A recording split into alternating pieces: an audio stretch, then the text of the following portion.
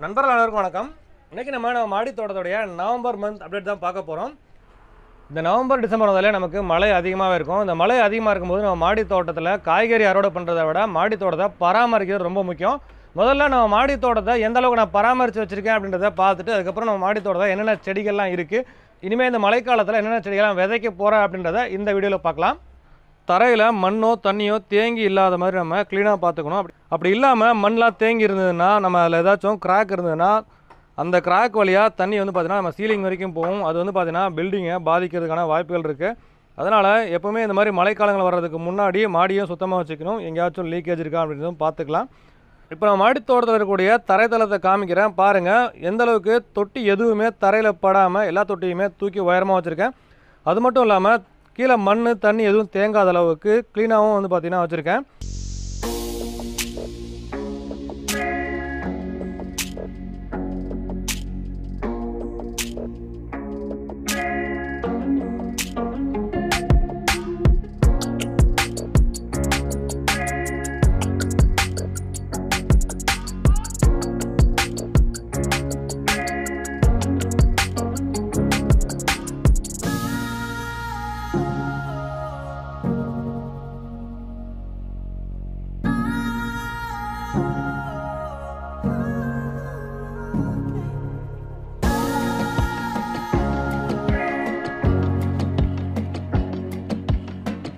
ஃபுல்லாக பார்த்தீங்கன்னா அக்வாபானிக் ஸ்டாண்டு இந்த அக்வாபானிக் பார்த்தீங்கன்னா தரையை தொடாத அளவுக்கு ஒரு முக்கால் அடி உயரத்துக்கு தான் வந்து பார்த்தீங்கன்னா வீல்லாம் வச்சு செட் பண்ணி வச்சுருக்கேன்.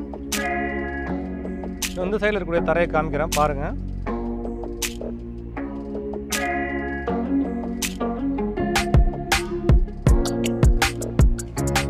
இது வந்து பார்த்தீங்கன்னா நம்ம கோழி குண்டு. இந்த கோழியோட வேஸ்ட் கூட பார்த்தீங்கன்னா தரையில் படாத மாதிரி அடியில் வந்து பார்த்தீங்கன்னா ஒரு ஷீட் போட்டு பக்காவாக ஃபோல்ட் பண்ணி வச்சிருக்கேன். இந்த கோழியோட எச்சம் கூட பார்த்தீங்கன்னா நம்ம தரையில் விழாது. இந்த கூண்டு கடையில் பாருங்கள் உங்களுக்கு காமிக்கிறேன் பாருங்கள்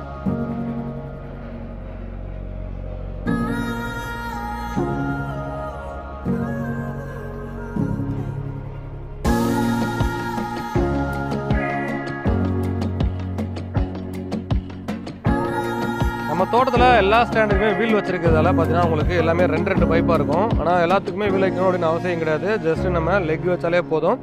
மேக்ஸிமம் நான் பண்ண வீடியோ எல்லாத்தையும் பார்த்தீங்கன்னா லெக் வச்சு தான் காமிச்சிருப்பேன். ஏன்னா வீல் வைக்கிறது அப்படிங்கிறது வந்து பார்த்தீங்கன்னா கொஞ்சம் காஸ்ட் அதிகம். நான் வந்து பார்த்தீங்கன்னா இந்த மாதிரி பழைய செகண்ட் ஹேண்ட் வீல்லாம் வந்து பயன்படுத்திருக்கிறதால நமக்கு செலவு கம்மியாக தான் ஆச்சு. அதனால் எல்லோரும் இந்த வீல் ட்ரை பண்ணாதீங்க. முடிஞ்ச வரைக்கும் வீல் இல்லாமல் வெறும் லெக் மட்டும் வச்சா போதும். நம்ம தான் இந்த ஸ்டாண்டை மூவ் பண்ணுறதுக்கு மல்டி பர்பஸ் ட்ராலி இருக்குங்களா அந்த மாதிரி ஒரு ட்ராலி செஞ்சிட்டோம்னா ஈஸியாக வந்து நம்ம மாடி தோட்டத்துக்கு எல்லா ஸ்டாண்டையும் நகர்த்திக்கலாம். பாருங்கள் இங்கே வச்சுருக்கோம் பாருங்கள் அந்த ஸ்டாண்டு சரி இப்போ வந்து பார்த்தீங்கன்னா மாடி தோட்டத்தில் இருக்கக்கூடிய இந்த தரைத்தளத்தை ஃபுல்லாகவே பார்த்தீங்க இப்போ வந்து பார்த்தீங்கன்னா மாடி தோட்டத்தில் என்னென்ன செடிகள் இருக்குது அப்படின்றத பார்த்துடலாம் இந்த பக்கம் பார்த்தீங்கன்னா ஃபுல்லாகவே தொட்டிகள் எல்லாமே இந்த உயரமாக இருக்கக்கூடிய தொட்டி எல்லாமே பார்த்தீங்கன்னா எம்டி பண்ணிட்டேன். ஏன்னா இப்போ இதெல்லாம் பார்த்தீங்கன்னா ஆடி மாதம் விதைச்சது. எல்லாமே அறுவடை முடிஞ்சது. மூக்குத்தி அவரை பீர்க்கங்காய் புடலங்காய் சொரக்காய் எல்லாமே போட்டிருந்தேன். எல்லாமே பார்த்தீங்கன்னா அறுவடை பண்ணிவிட்டு இதெல்லாமே பார்த்தீங்கன்னா மண்ணை வந்து கலரி விட்டுருக்கேன். இப்போ மழை பெய்ஞ்சதால் இதில் சில களைச்செடிகள் முளைச்சிருக்கு சில கீரைகளும் முளைச்சிருக்கு. இப்போ நவம்பர் மந்தில் நம்ம மழை அதிகமாக இருக்கும். இப்போ வந்து பார்த்தீங்கன்னா நம்ம இன்னும் எதுவும் ஸ்டார்ட் பண்ணலை. நம்ம தீபாவளி கழிச்சு எல்லாம் ஸ்டார்ட் பண்ணலாம் அப்படின்றதுக்காக அப்படியே விட்டு வச்சுருக்கேன். இங்கே ஒரு சங்குப்பூ செடி இருக்குது செடி முழுக்க வெறும் பூக்களாகவே இருக்குது பாருங்கள் நிறைய சங்குப்பூ இருக்குது இந்த இடத்துல வந்து பார்த்திங்கன்னா மிளகாய் பூ செம்பருத்தி அப்படின்னு சொல்லுவாங்க. சின்ன சின்னதாக இருக்கும் செம்பருத்தி பூ. நாட்டு செ- நாட்டு ரகம் தான் நிறைய பூக்கள் இருக்குது இதுவும் பார்த்தீங்கன்னா ஒரு கத்திரி செடி வச்சுருக்கேன். எல்லாமே பார்த்தீங்கன்னா பூக்கள் பிஞ்சுகள் வந்திருக்கு. இந்த கத்திரி செடியோட வளர்ச்சி ரொம்ப அழகாகவே இருக்குது இது வந்து பார்த்தீங்கன்னா உங்களுக்கு நவம்பர் லாஸ்ட்டு அல்லது டிசம்பரில் நமக்கு அறுவடை கிடைக்கும் அப்படின்னு எதிர்பார்க்குறேன்.